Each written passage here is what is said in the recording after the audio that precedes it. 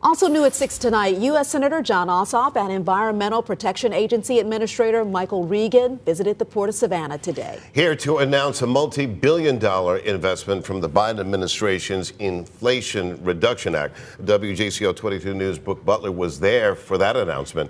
And she joins us live now from the newsroom. And Brooke, they say this investment will help grow our nation's ports while also supporting the environment. Yeah, Shannon and Greg, both Ossoff and Regan say that the investment will help support jobs and it will also work to reduce both noise and air pollution.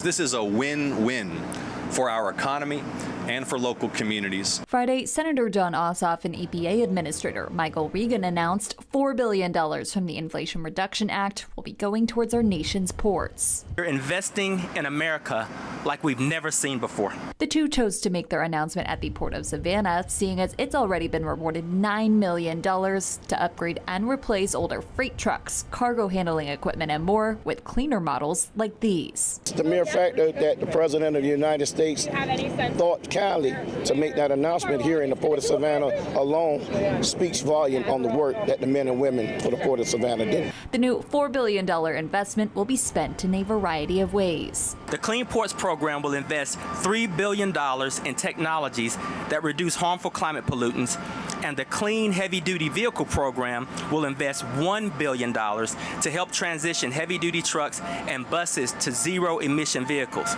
Regan says the investment has a lot of benefits. Together, these programs, made possible by President Biden's Investing in America plan, will restore our nation's infrastructure, create good paying jobs, and build a clean energy economy that protects both the people and the planet. But with some Republicans concerned about the Biden administration's spending and the debt ceiling, we asked Regan what his response is. Congress will obviously have its discussions, uh, but right now we have some resources that we need to spend and some, some lives we need to protect. And Brooke, do we know how much of that four billion the Port of Savannah will receive?